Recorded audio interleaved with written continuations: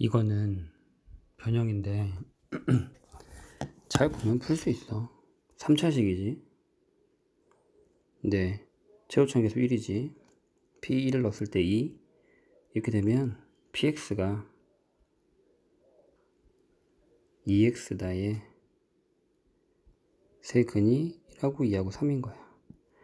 1 넣으면 2 나오지 2 넣으면 4 나오지 그래서 선생님이 이거 외우지 말라는 거야 이게 이해가 되니까 그렇다는 건 px-2x는 0의 세근이 1, 2, 3이란 얘기고 얘가 x-1 요거란 얘기고 그쵸? 음. 그래서 px가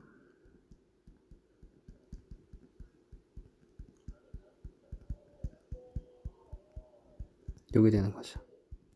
그럼 이걸 나눴을 때 나머지를 구하는 거니까 P4 계산하면 되겠죠. 그러니까 여기서 중요한 건 결국엔 이거지.